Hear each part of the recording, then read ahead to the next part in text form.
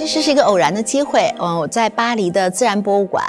啊，那里呢就是有看到了非常多的非洲的这个动物，尤其是有一个很大的场面，就是那个非洲动物的迁移。我觉得在非洲这片土地上，它所有的动物都是非常充满生命力的，在这种原始的动物身上能感受到生命之美。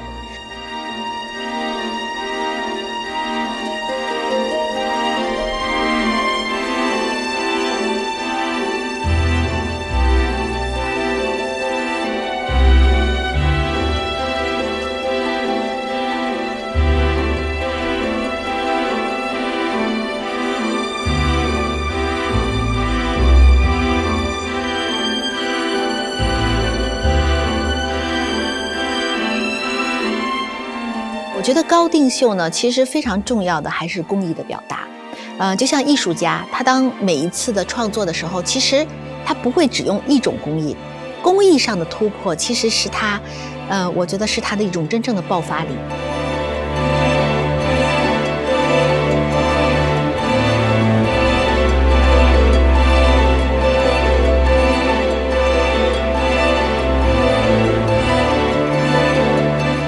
在整个的这个制作中呢，我选用了比较原始的，就是比较朴素的工艺。呃，很多民族、很多国家都有，就这种叫，呃，应该叫呃粘塑或者叫毛毡的那种工艺。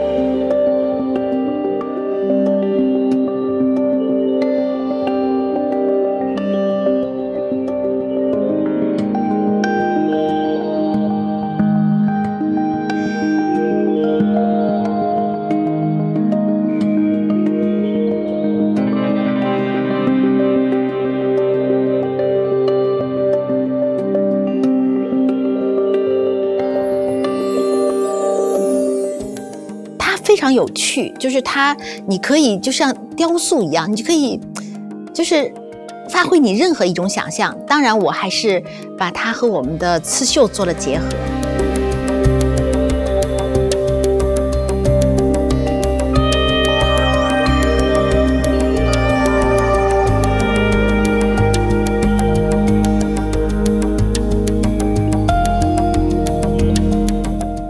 因为整个的这个。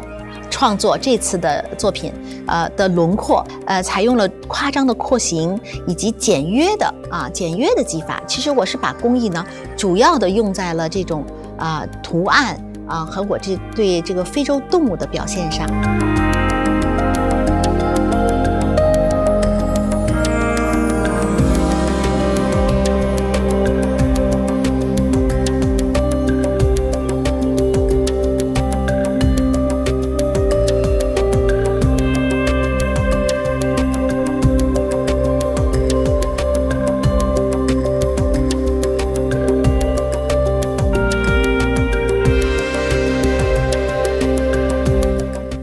这次有它的非常的特殊性啊，因为是用这种画面的表达，还有呢，呃，我也想通过我的第十场秀，给人们带来一些嗯对我的可能不一样的认识，因为我希望最终服装呢还是要接近生活，而且这次疫情呢，让我们不得不重新面对生命的思考，嗯，不仅是人类的生命、动物的生命、植物的生命，地球也是有生命的，我们应该热爱生命。